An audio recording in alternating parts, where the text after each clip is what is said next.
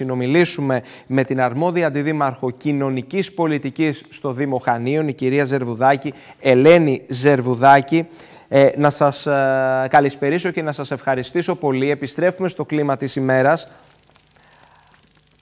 Καλησπέρα, καλησπέρα σας, καλησπέρα στους τηλεθεατές σας. Το, μυαλό, το κλίμα είναι όμορφο, το, το κλίμα είναι όμορφο αλλά κυρία Ζερουδάκη, το μυαλό όλων μας είναι και σε δεκάδες συνανθρώπους μας και στις τέσσερις περιφερειακές ενότητες του νησιού που βρίσκονται στο δρόμο. Σε άστεγους λοιπόν συνανθρώπους μας και η Δημοτική Αρχή στα Χανιά προχωρά σε μια πολύ σημαντική πρωτοβουλία.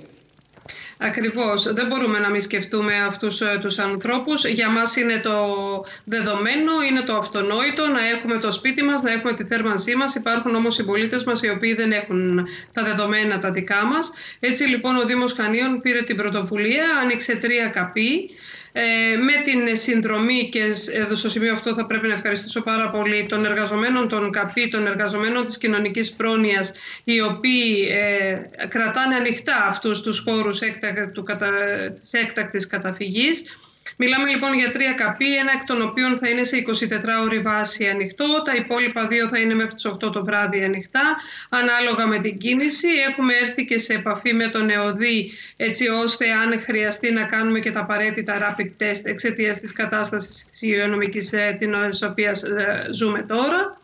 Οπότε ο Δήμος Χανίων είναι όντως έτοιμος. Μακάρι να μην υπήρχαν άνθρωποι οι οποίοι έχουν την ανάγκη μας. Εν τούτης η πραγματικότητα είναι διαφορετική. Και να προτρέψουμε βέβαια τους δημότες των ε, Χανίων σε περίπτωση που υποπέσει στην αντίληψή τους το οτιδήποτε έχει να κάνει με άστεγους να ενημερώσουν τη Δημοτική Αρχή, να ενημερώσουν τις δομές.